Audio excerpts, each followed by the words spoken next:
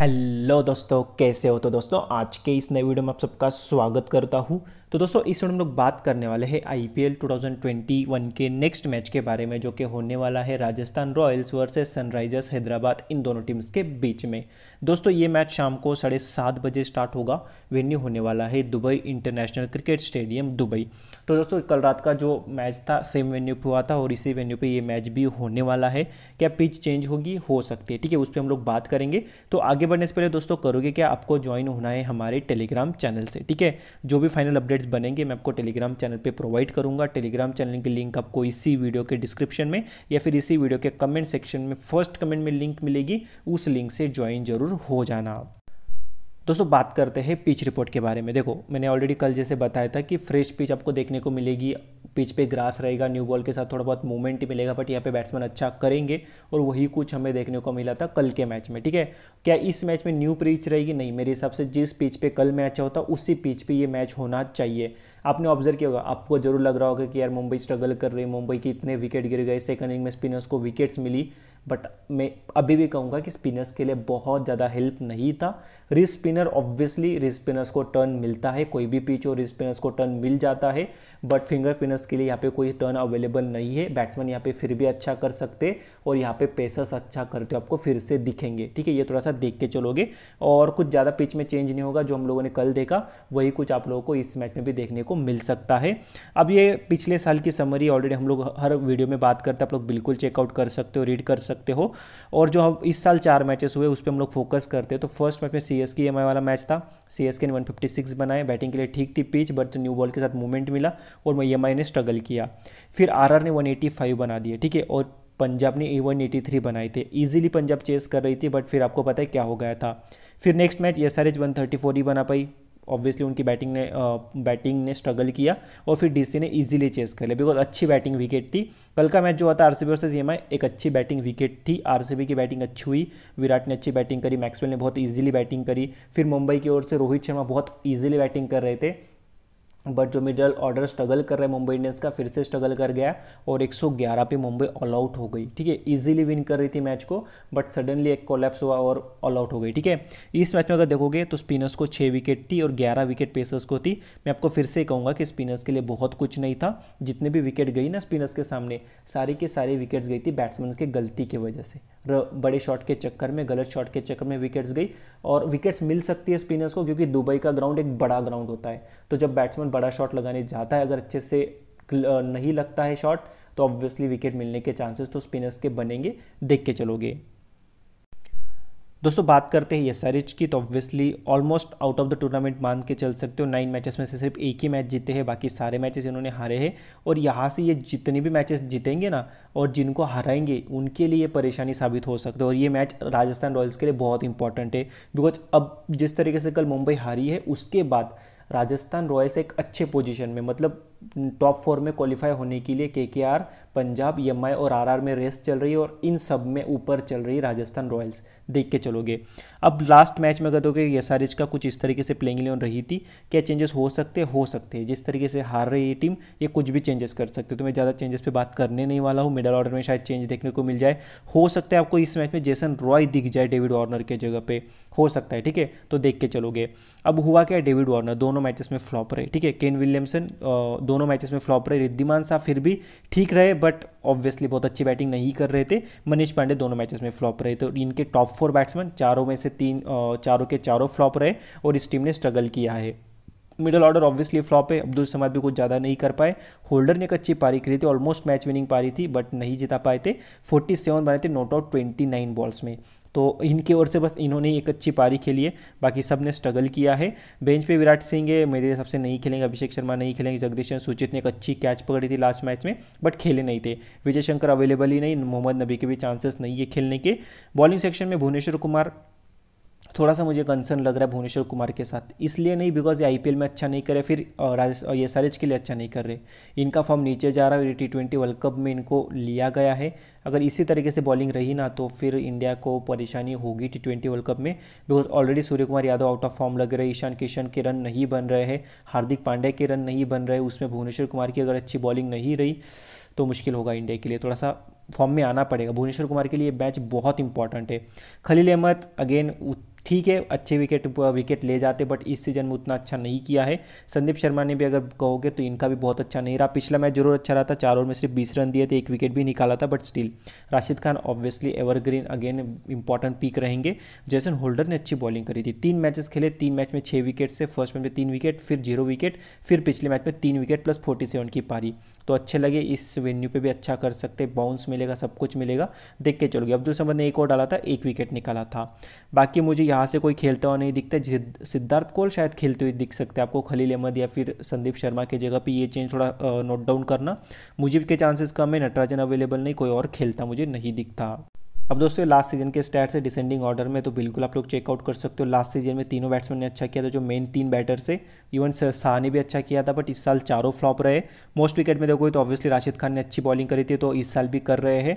T Natarajan तो available ही नहीं last year last time Holder ने भी अच्छी बॉलिंग करी थी सेम वेन्यू पर और यहाँ पर भी अच्छी बॉलिंग आपको करते हुए दिखे पिछले मैच में तो ऑब्वियसली आप लोग फिर से अच्छा करते हुए दिख सकते हैं। अब दोस्तों चलते राजस्थान रॉयल्स पे। ठीक है, देखो नाइन मैचेस में से ये लोग चार मैचेस जीते हैं, पाँच मैचेस लोग हारे हैं और ये क्वालिफाई हो सकते हैं। अगर इस मैच को ये जीत जाते हैं ना तो ऑलमोस्ट बहुत क्लोज चले जाएँगे क्वालिफाई होने के लिए और बाकी टीम्स के लिए मुश्किलें हो सकती है। तो इनके लिए बहुत इंपॉर्टेंट मैच है। जो इनके दो मेन प्लेयर्स हैं, जो लास्ट मैच में खेले नहीं थे। एक तो सबसे इंपॉर्टेंट प्लेयर क्रिस मॉरिस और सेकंड एवन लेविस क्या ये दोनों अवेलेबल रहेंगे इस मैच में? देखने लायक बनेगा। बिकॉज़ अगर ये फिट है तो दोनों मेरे हिसाब से प्लेइंग इलेवन में आ जाएँगे।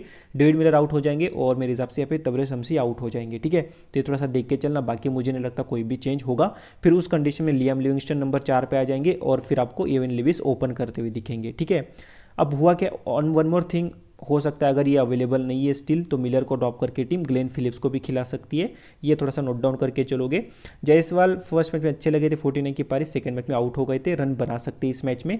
एविन लेविस ने फ़र्स्ट मैच में अच्छी बैटिंग करी थी, फिर सेकंड मैच में खेले नहीं थे। लेविस का फॉर्म अच्छा है। संजू सैमसन ने अच्छी पारी खेली थी पिछले मैच में। मैच विनिंग ज़रूर नहीं थी टीम हार गई थी बट स्टिल बैटिंग अच्छी लगी थी। लियाम लिविंगस्टन एक ही रन बना पाए थे बट इनका फॉर्म अच्छा है। इनको इग्नोर नहीं करना है पब्लिक थोड़ा इग्नोर करेगी इनको बट लेके चलोगे। डेविड मिलर सात ही रन बना पाए। ऑब्वियसली थोड़ा स्ट्रगल कर रहे थे स्पिनर के सामने और जब सामने अश्विन होंगे तो लेफ़्ट हैंडेड ऑब्वियसली स्ट्रगल करते हैं। बट इनका फॉर्म अच्छा है। मैं इनको आउट ऑफ़ फॉर्म बिल्कुल नहीं कहूँगा। साउथ अफ्रीका के लिए इन्होंने अच्छी बैटिंग करी और इस पिच पर अच्छा कर सकते हैं। मैपाल लोमरर इस वेन्यू पर अच्छा कर सकते फोर्टी थ्री की बढ़िया पारी भी इन्होंने खेली है। नाइनटीन लास्ट मैच में बनाए थे। रियान पराग की अगर बात करें तो उन्होंने स्ट्रगल किया है। ठीक है? राहुल टिवाटे इंपॉर्टेंट पिक मेरे हिसाब से इस मैच में रहेंगे because right arm leg break spinner है। सामने राइट हैंडेड बैट्समैन बहुत ज़्यादा है। तो आपको बॉलिंग करते हुए दिखेंगे। मॉरिस अगर रिटर्न आते हैं तो ऑब्वियसली ये भी इंपॉर्टेंट पीक बनेंगे। अब दोस्तों बेंच पे है शिवम दुबे। खेलने के चांसेस नहीं उनाटकट के चांसेस नहीं है। मनन ओरा के भी चांसेस नहीं है। बॉलिंग में चेतन साकरिया ने पिछले मैच में दो विकेट्स निकली थी अच्छी बॉलिंग करी थी। टोटल नाइन मैचेस में अगर देखोगे तो करीबन इन्होंने निकाली है दस विकेट्स ठीक है? अच्छी बॉलिंग इन्होंने अब तक करी है। मुस्तफिजुर रहमान, इन्होंने अच्छी बॉलिंग करी। प्रॉपर डेथ बॉलर अब तक परफॉर्मेंस अच्छा रहा है। क्रिस मॉरिस पिछले मैच में खेले नहीं थे, बाकी इनकी बॉलिंग अच्छी रही फ़र्स्ट लेग में तो बहुत अच्छी करी थी। सेकंड लेग में जो फ़र्स्ट मैच खेला था, वहाँ पर बिल्कुल अच्छी बॉलिंग नहीं थी बट स्टिल इंपॉर्टेंट पीक है। क्रिस मॉरिस की बात करें तो सॉरी कार्तिक त्यागी की बात करें तो इन्होंने तीन मैच में निकाली है, चार विकेट्स इनकी बॉलिंग अच्छी रही है, ठीक है? राहुल तिवाटी की अगर बात करें तो इंपॉर्टेंट पी के विकेट ले जाते, एक आध दो विकेट ले सकते हैं, इस वेन्यू पे अच्छा कर सकते हैं। सामने राइट हैंडेड बैट्समैन ज़्यादा रहेंगे तो इनका रोल इंपॉर्टेंट रहेगा। डिफरेंशियल प्लेयर का काम कर सकते हैं आपके लिए स्मॉल लीग में प्लस ग्रैंड लीग में। इनको नोटिस करके चलना, देख के चलना, इनको छोड़ना मत। Tabraiz Shamsi number one T twenty I bowler ज़रूर है। बट लास्ट मैच में उतने उतने अच्छे लगे नहीं। फोर ओवर में थर्टी फोर रन ज़रूर दिए थे। इस वेन्यू पे अच्छा कर सकते, बड़ा ग्राउंड रहेगा। देख के चलोगे इनको ग्रैंड लीग में ज़रूर रोटेट करना है। स्मॉल लीग में भी रिस्क ले सकते हो। पराग मेरे हिसाब से ज़्यादा बॉलिंग नहीं करेंगे महिपाल उमर के भी चांसेस कम है। एक आध और शायद डाल सकते हैं। सामने राइट हैंडेड बैट्समैन है तो शायद दो ओवर डाल दे। देर इज़ अ चांसेस देख के चलना। बाकी दोस्तों उनाटकट के चांसेस कम है खेलने के। श्रेयस गोपाल के भी चांसेस कम रहेंगे। शिवम दुबे के भी चांसेस कम रहेंगे। अब दोस्तों लास्ट सीज़न के स्टैट से बिल्कुल चेकआउट कर सकते हो। ये डिसेंडिंग ऑर्डर में आपको दिखेंगे। सैमसंग के अच्छे थे, बाकी किसी के भी अच्छे नहीं थे। बटलर और स्टॉक्स तो दोनों अवेलेबल नहीं है। हाँ टिवाटे ने अच्छा किया था पिछले सीज़न में। Most wicket obviously again Chris Morris के अच्छे थे, जिन्होंने आरसीबी के लिए बॉलिंग करी थी लास्ट ईयर बाकी टेवाटिया श्रेयस गोपाल कार्तिक त्यागी ये सारे एवरेज थे। ये प्रैक्टिस मैच के कुछ स्टैट से दो प्रैक्टिस मैच बिल्कुल आप लोग चेकआउट कर सकते हो, ठीक है? अब बात करते हैं पावर प्ले बॉलर्स तो राजस्थान रॉयल्स के लिए साकारिया मुस्तफिजुर रहमान, ये दोनों मेन पावर प्ले बॉलर्स है। इनके अलावा कार्तिक त्यागी एक और क्रिस मॉरिस खेलेंगे तो क्रिस मॉरिस एक और आपको डालते हुए दिख सकते हैं। एच के लिए संदीप शर्मा, भुवनेश्वर कुमार, ये मेन पावर प्ले बॉलर से इनके साथ खलील अहमद एक और डाल सकते हैं। और बाकी स्पिनर को भी एक हाथ और दिया जा सकता है। Death overs obviously Rajasthan Royals के लिए मुस्तफिजुर रहमान है, जो पूरे दो ओवर डेथ में डालते एक और तैगी डालेंगे और एक और मेरे हिसाब से क्रिस मॉरिस डालेंगे। हो सकता है कि दोनों ओवर क्रिस मॉरिस भी डाल दे। ये सारे के लिए भुवनेश्वर कुमार दो ओवर्स, खलील अहमद एक और, जैसन होल्डर एक और, ठीक है? तो इनके पास एक ही डेथ ओवर बॉलर है, इनके पास ये तीनों डेथ ओवर बॉलर्स मान के चल सकते हो, बिकॉज़ कार्तिक तैगी ने भी डेथ में अच्छी बॉलिंग करी है। अब दोस्तों, दोनों टीम्स के बीच में ना तीन मैचेस हुए हैं टोटल पिछले तीन मैचेस जिसमें से दो मैचेस हुए थे यूएई में, एक मैच हुआ था इंडिया में, जो लास्ट दो मैचेस हुए थे पिछले सीज़न में, वो दुबई में ही हुए थे, ठीक है? तो एक आई थिंक एस ने जीता था और आई थिंक एक आर ने जीता था। फ़र्स्ट मैच आर ने जीता था, जहाँ पे 158 बनाए थे एस ने, और आर ने चेस किया था, जिसमें रियान पराग और टेवाटिया जो इनकी जो पार्टनरशिप रही थी ना चेस में, ज़बरदस्त रही थी बिकॉज़ टॉप ऑर्डर फेल हो गया था उसके बाद इन्होंने बहुत ज़बरदस्त पार्टनरशिप करी थी, दोनों नोट आउट रहे थे। रियान पराग ने 42 और राहुल टिवाटे ने 45 बनाए थे। फिर फ़र्स्ट इनिंग में अगर देखोगे वार्नर की अच्छी पारी थी फ़र्स्ट इनिंग में, मनीष पांडे भी अच्छी पारी थी विलियमसन की भी अच्छी पारी थी, राशिद खान को उस मैच में दो विकेट्स थी, खलील अहमद को दो विकेट्स थी। फिर नेक्स्ट मैच में आरआर ने सिर्फ़ 154 बनाए और फिर एसआरएच ने 156 बना दिए थे।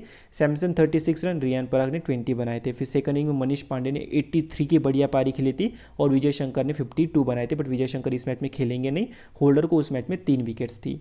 फिर दोस्तों लास्ट मैच हुआ था दिल्ली में, जिसमें राजस्थान रॉयल्स ने 220 बना दिए थे सैमसन 48 बट बटलर ने अपना टी करियर का फ़र्स्ट हंड्रेड लगाया था टी करियर का, ठीक है? और ये सारी वन बना पाई थी। मुस्तफिजुर रहमान को तीन विकेट्स थी और क्रिस मॉरिस को तीन विकेट्स थी। दोस्तों हेड टू हेड स्टैट्स की बात करें, दोनों टीम्स के बीच में हो चुके फोर्टीन मैचेस जिसमें हैदराबाद सात मैचेस जीता है और राजस्थान रॉयल्स ने सात मैचेस जीते हैं। तो बहुत अच्छा चल रहा है इनके बीच में, ठीक है? राजस्थान रॉयल्स की ओर से तो सैमसन ने हेड टू हेड में सबसे ज़्यादा रन 41 के एवरेज से रन बनाया, जिसमें एक हंड्रेड भी है। मिलर का 27 का एवरेज है, रियान परग ने चार मैचेस में 77 बनाया जिसमें 42 हाईएस्ट स्कोर है। बाकी मेरे हिसाब से किसी ने ज़्यादा कुछ नहीं किया है। मोस्ट विकेट क्रिस मॉरिस को बारह विकेट से, राजस्थान सॉरी एसआरएच के सामने। मुस्तफिजुर रहमान देखो, तीन मैच में ही सात विकेट्स है इंटरेस्टिंग टेवाटिया फोर मैचेस में टू विकेट्स फिर एसआरएच की अगर बात करोगे तो ऑब्वियसली डेविड वार्नर का थर्टी का एवरेज मनीष पांडे का थर्टी एवरेज एवरेज और विलियमसन का 42 का एवरेज। तो तीनों ने ठीक किया है राजस्थान रॉयल्स के सामने। Most wickets, Bhuvneshwar Kumar 12 wickets, Natarajan 9 wicket से, बट खेलेंगे नहीं, ठीक है? राशिद खान को सात मैच में आठ विकेट से ये इंटरेस्टिंग है होल्डर को पाँच विकेट से फिर चलते दोस्तों वेन्यू स्टैट्स पे। तो इस वेन्यू पे चार मैचेस सॉरी सात मैचेस खेल चुकी राजस्थान रॉयल्स, दो मैचेस जीते हैं। पाँच मैचेस राजस्थान रॉयल्स इस वेन्यू पे हार चुकी है। मोस्ट रन देखोगे तो यहाँ पे सैमसन ने सेवनटीन का एवरेज है जस्ट ठीक है, उतना ज़्यादा नहीं है। टेवा, टेवाटे की बात करो कि टेवाटा ने भी बहुत सॉरी टेवाटे ने भी बहुत अच्छा नहीं किया है। तो ऑलमोस्ट सब बैट्समैन ने स्ट्रगल किया। पिछले मैच में ज़रूर जयसवाल ने 49 की पारी खेली थी। लोमरर ने 43 बनाए थे। एविन लिविस 36 बनाए थे। ठीक है, पिछले मैच में बट उसके बाद अगर देखोगे तो सैमसन फ्लॉप टेवाटिया फ्लॉप, रियान पराग भी फ्लॉप हुए थे फ़र्स्ट मैच में। मोस्ट विकेट इस वेन्यू पे, तैगी ने सात विकेट्स निकाली, पिछले मैच में भी तैगी ने इस वेन्यू पे दो विकेट लास्ट ओवर में निकाली थी। मॉरिस ने इस वेन्यू पे आठ विकेट्स निकाली चार मैचेस में। लास्ट मैच उतना अच्छा नहीं रहा था बट स्टिल टिवाटे ने छः विकेट्स निकाली इस वेन्यू पे। अब एस ने यहाँ पे आठ मैचेस खेले थे लास्ट ईयर जिसमें से चार जीते थे, चार मैचेस लोग हार गए थे। और मोस्ट रन देखोगे थर्टी एट के एवरेज से इस वेन्यू पे वार्नर के रन है मनीष पांडे का भी एवरेज अच्छा है विलियमसन का भी एवरेज अच्छा है तो तीनों ने ठीक किया है, ठीक है? बट इस साल थोड़ा सा इनका फॉर्म उतना अच्छा नहीं लग रहा है। रिद्धिमान शाह ने भी अच्छा किया इस वेन्यू पे। इस वेन्यू पे राशिद खान को बारह विकेट से, नटराजन के अच्छे विकेट से बट अवेलेबल नहीं है। होल्डर के अच्छे विकेट से चार मैच में छः विकेट से, संदीप शर्मा नाइन मैचेस में नाइन विकेट से। है अब दोस्तों, अब चलते प्लेयर बैटल्स पे। तो सबसे पहले बात करेंगे राजस्थान रॉयल्स के बैट्समैन वर्सेस हैदराबाद के बॉलर्स तो एविन लिविस। राशिद खान ने एक बार आउट किया है। होल्डर ने दो बार आउट किया, सिक्सटी रन देके सिर्फ़ वो भी सिक्सटी थ्री बॉल्स में भुवनेश्वर कुमार भी दो बार आउट कर चुके हैं।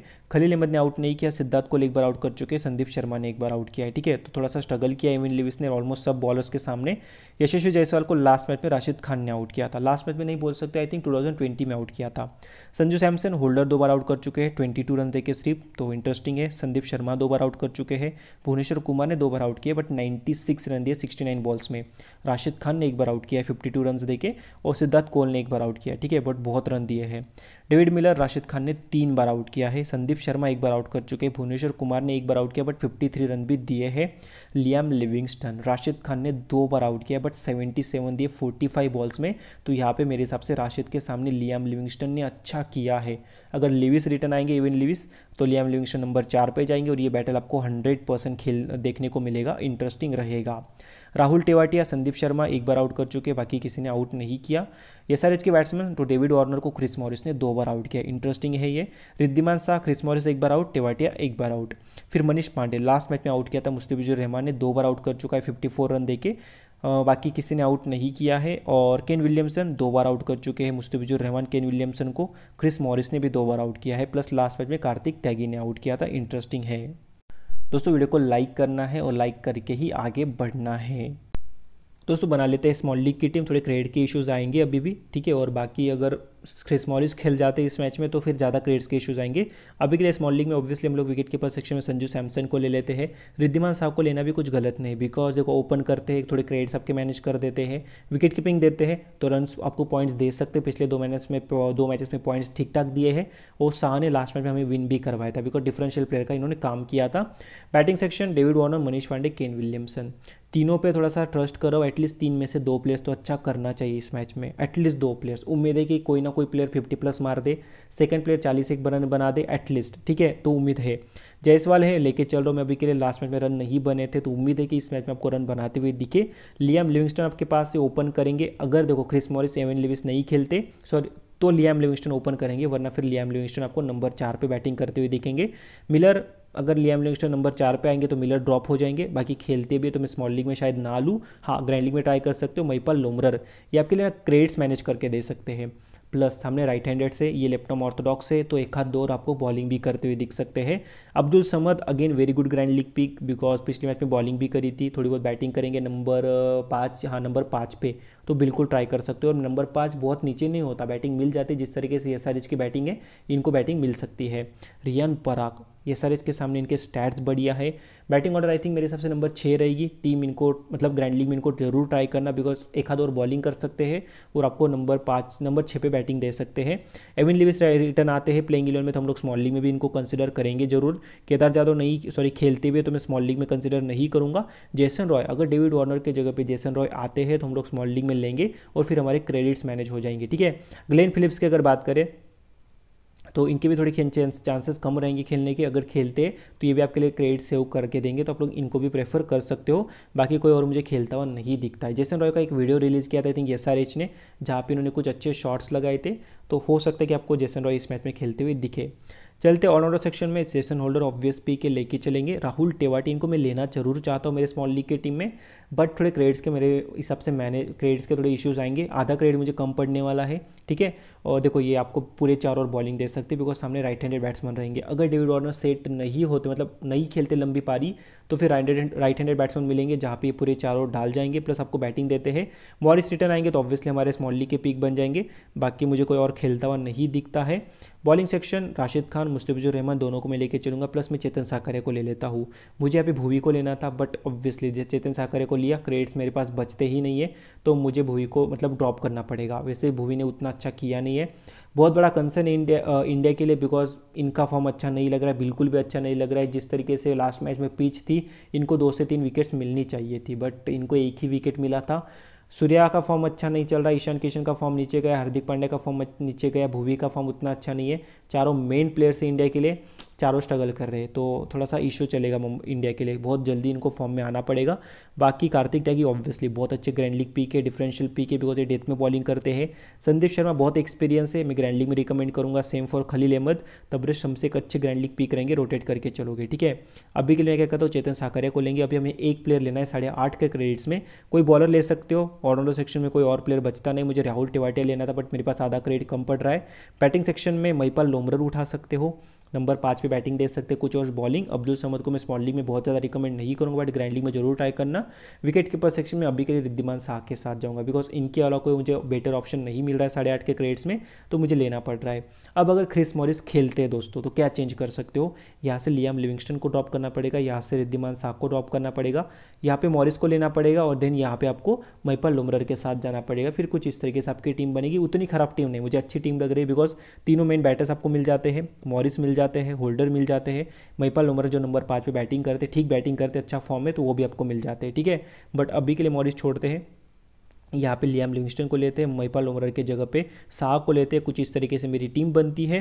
कैप्टन वाइस कैप्टनसी, पब्लिक आएगी होल्डर के साथ, आप लोग भी जा सकते हो, अच्छी बॉलिंग कर सकते हैं। डेविड वार्नर एक अच्छे पी के संजू सैमसन एक अच्छे पी के इन तीनों में से head to head three member में कैप्टन वाइस कैप्टन ट्राई करना। अभी के लिए मैं डेविड वार्नर को कैप्टन से दे रहा हूँ, ठीक है? और वाइस कैप्टन से मेरी अभी के लिए जा रही है यहाँ पे, संजू सैमसन को। आप चाहो, होल्डर को भी कर सकते हो, आपको कोई मना ही नहीं है।